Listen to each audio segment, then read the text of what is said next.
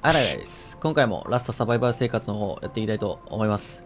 前回ですね、この地上拠点、えー拠点を増築しまして、まあ、ちょっと固くしたり、まあ、窓枠つけたりなんかして迎撃できる場所を設けました。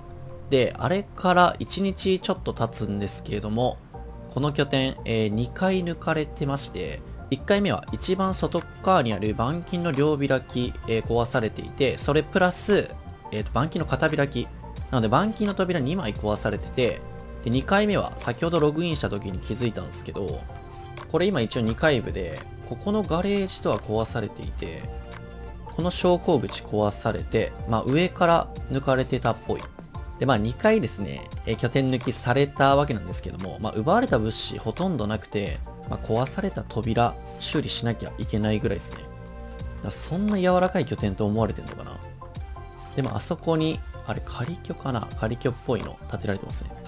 で、まあがっつりはしごとかつけられてて、うん、まあ、なんで、えっ、と、拠点抜きされたかというと、まあ、結構ね、理由があって、まあ、この近辺に拠点が増え始めてきたっていうのと、結構ね、紛争が起きてて、結構そこに顔を出しちゃったりしてるんで、まあ、ヘイト買ったりもしてますね。だから、えっ、と、2回ほど抜かれたと思われます。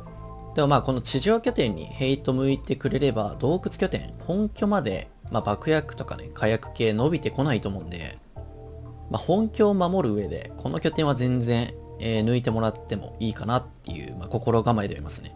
でまあ、このやられた扉系修理しなきゃいけないんですけども、えーとりあえず今回はですね、えーと、ロケットランチャーの弾7発ほどクラフトしたので、まあ、それを使って拠点抜きいこうかなと思います。で、まあ、この辺割と物騒なんで、ミニコプターでどっか飛んでいって、まあ、抜きやすそうな拠点、ロケットの弾7発でやれそうな拠点を探して、そこを抜こうかなと思います。これだけ付け直したいと思います。よし。道のど真ん中に拠点がある。見かけにの2階建てか。ロケットランチャー7発と炸裂で壊してもいいけどね。ミニコプター見つけたので、これで拠点探しに行こうと思います。この拠点、床が石？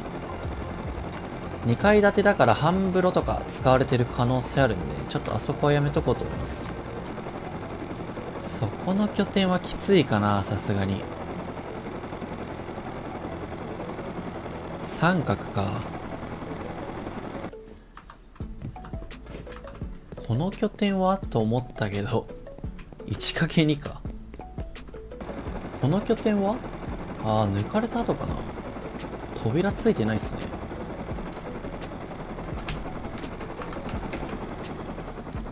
水差し捨ててある。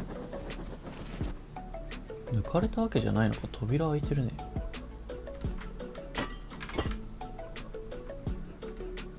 でも美味しくなさそうだ行って。風化拠点結構多いな。で抜かれた後かこれ。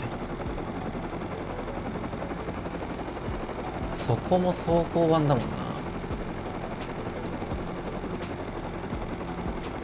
抜けそうな拠点があんまりない。ああの拠点久しぶりに見た。これ前抜いた拠点だな。成長した姿見せてくれんじゃないかこれ。多分ここ入っていったらタンス見えるんでロケットここを7発撃って炸裂撃てば一応タンスは見えることになる。ここの拠点抜いたのってほんと1週間ぐらい前なんでもしかしたら資材溜め込んでるかもしれないですね。前抜いた時めっちゃうまかったんでここ抜いちゃおうかな。俺も成長した姿をこの拠点で発揮しよう。ということで先ほどの拠点ロケットランチャーで壊していきたいと思います。まあ、作戦としてはロケットランチャーの弾7発撃ってあとは炸裂であの板金の壁を壊しまあ、速攻でタンス壊して扉をつけるっていう感じですね。いや、多分工具棚の位置変えてないと思うんで、うん、大丈夫なはずです。ミニコップ音目立つかなということで、徒歩で行きたいと思います。まあ、邪魔されてロストしたら、もう知らん。まあ、あの拠点前回上から抜いたんで、上から抜かれないように、まあ、対策してたっぽいんですけど、次は横から行こうか。着いたんで早速撃っていきたいと思います。撃ちます。わ、ちょっと下すぎたな。上目で。え？やば。全然確認しなかったけど、風化してたっぽい。炸裂で壊すか。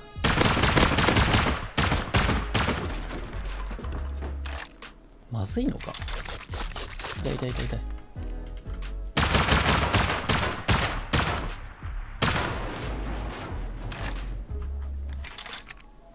え、うめえじゃん。両開きしかダメか、これ。カスタム SMG。金属片ないのかな？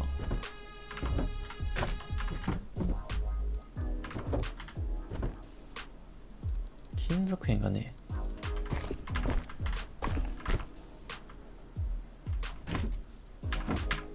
木でもいいから両開きの扉作るか。あ爆薬とかも入ってんじゃん。で普通に金属風化しかかってたっていうね。だとしてもだよ。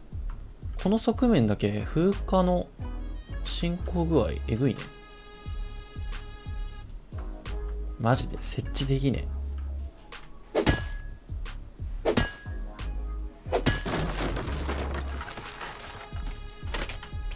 とりあえず木の両開きつけました。炭素置いて欲しいものだけまず持って帰るか。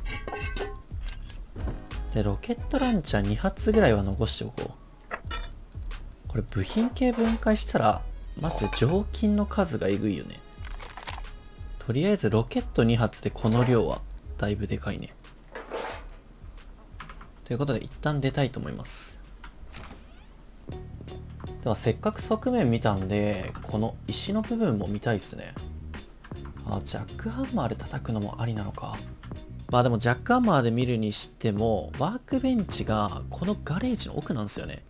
まあ、ロケットあるし、ロケット2発撃っちゃおうかな。ではまず一発撃ちます。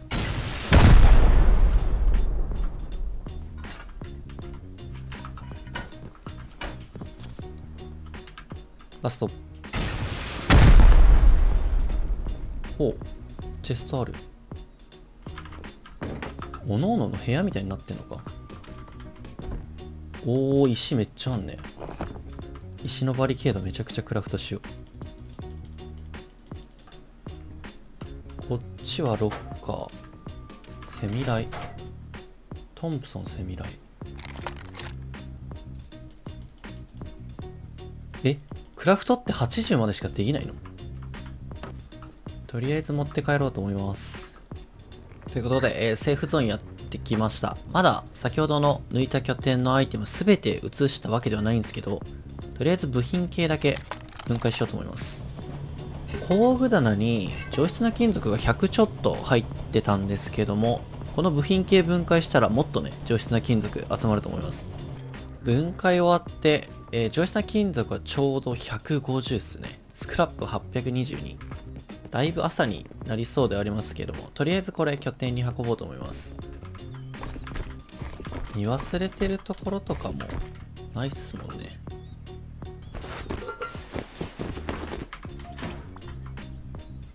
この奥、扉開いてて、この下にレベル3ベンチがあるんですよね。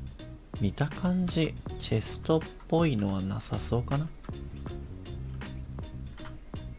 とりあえず常勤が出るものを中心に取っていこう。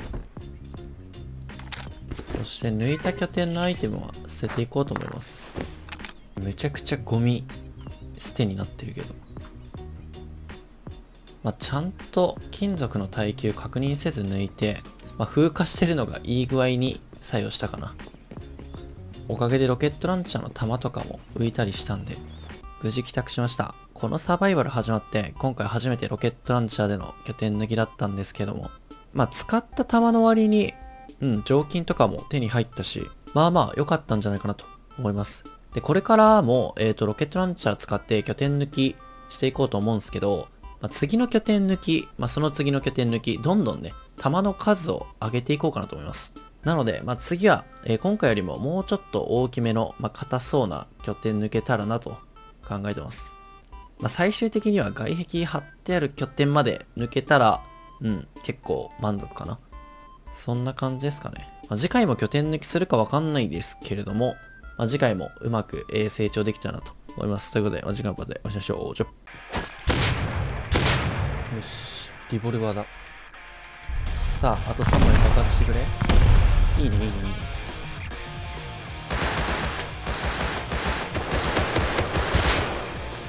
よしよし。